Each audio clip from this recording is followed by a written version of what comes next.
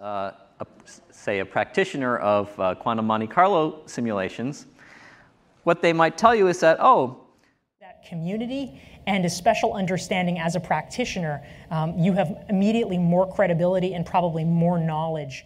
You're a student of medicine, or perhaps you're a practitioner, the ability to take that information with you wherever you go is quite critical. And what I. To not go overboard on the cognitive load that is demanded of uh, a practitioner during in the diagnostic process. Vascular medicine.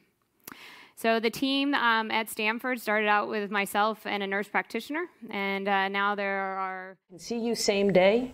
You'll see as a nurse practitioner, or you want to wait for the best person. I mean, you want to see the best person in the world. People are like. Security standpoint, and for someone who has been a practitioner in the Navy for the length of time uh, that I served,